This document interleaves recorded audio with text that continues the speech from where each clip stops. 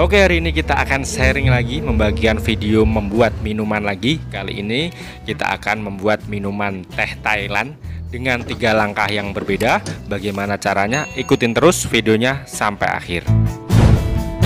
Pertama-tama tentu saja kita siapkan tehnya terlebih dahulu. Ini adalah teh Thailand merek Catramu ya Yang warna merah karena ada beberapa jenis teh Thailand. Kita pakai warna merah seperti ini Langkah selanjutnya kita akan membuat biang tehnya ya. Terlebih dahulu kita siapkan tehnya sebanyak 20 gram untuk 1 liter air ya. Kalau teman-teman nggak punya timbangan bisa pakai takaran sendok makan. Itu kira-kira 4 sendok makan ya.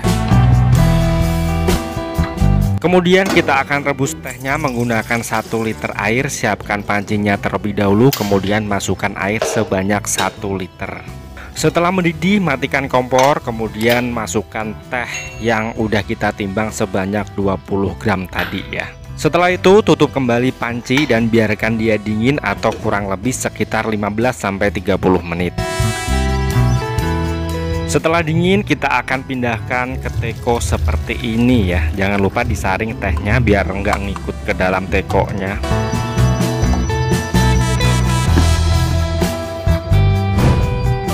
Langkah berikutnya kita akan racik tehnya ya. Kita siapkan dulu cupnya ukuran 22 oz seperti ini. Kita siapkan tiga buah karena kita akan membuat tiga langkah yang berbeda dalam membuat Thai tea. Yang pertama kita akan membuat Thai tea original. Nah, langkah pertama kita akan masukkan gula cair sebanyak 40 ml ya. Buat teman-teman yang belum tahu cara membuat gula cair bisa tonton video saya sebelumnya atau bisa diklik link yang ada di atas ini kemudian tambahkan es batu seikhlasnya saja. Habis itu tambahkan biang teh yang udah kita bikin tadi ya. Tuangin aja langsung ke dalam cupnya. Atau kalau mau pakai gelas ukur itu ukurannya sekitar 225 ml ya. Seperti ini. Tinggal kita press saja menggunakan mesin cup sealer. Menu pertama kita sudah jadi. Ini adalah teh hitam khas dari Thailand ya jadi tanpa campuran susu atau apa pun ini adalah teh original atau teh hitam Thailand. Selanjutnya kita akan masuk ke menu yang kedua ya. Kita siapkan cupnya 22 oz kemudian kita akan siapkan juga gula cairnya sebanyak 40 ml setelah itu kita akan tambahkan biang tehnya sebanyak 125 ml ya. Masukkan aja ke dalam cupnya. Habis itu kita tambahkan juga fresh milk atau susu sapi sebanyak 90 ml Tambahkan juga susu kental manis sebanyak 1 sendok makan. Habis itu kita aduk-aduk sampai rata. Kemudian tambahkan es batu seikhlasnya saja setelah itu tambahkan susu evaporasi sebanyak 30 ml ya. Susu ini membuat minuman tambah creamy, tambah enak lagi ya.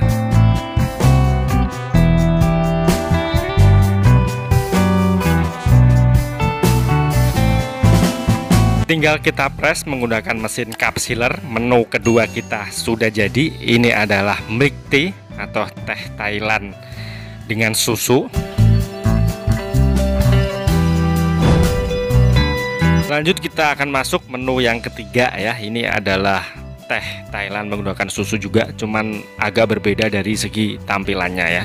Kita siapkan seperti biasa cup 22 oz kemudian tambahkan gula cair sebanyak 40 ml. Kemudian tambahkan fresh milk sebanyak 150 ml. Jangan lupa juga tambahkan susu evaporasi sebanyak 30 ml. Habis itu jangan lupa juga tambahkan susu kental manis sebanyak satu sendok makan. Kemudian aduk sampai rata ya. Tambahkan juga es batu seikhlasnya saja. Kemudian tambahkan biang tehnya sebanyak 50 ml. Masukinya pelan-pelan saja supaya membentuk gradasi yang bagus ya. Ini ada dua layer, yang atas agak sedikit gelap kemudian yang bawah warna putih ya. Langkah terakhir tinggal kita press saja menggunakan mesin capsuler seperti ini ya.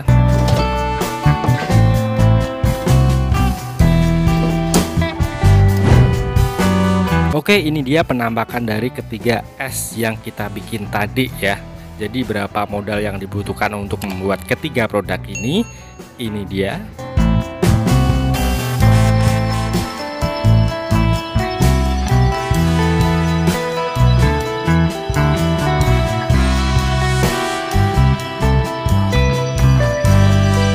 Untuk harga jual bisa disesuaikan dengan keadaan daerah masing-masing ya. Karena biasanya harga di setiap daerah itu berbeda. Oke cukup sekian video kali ini. Semoga videonya bermanfaat. Sampai ketemu di video selanjutnya. Assalamualaikum warahmatullahi wabarakatuh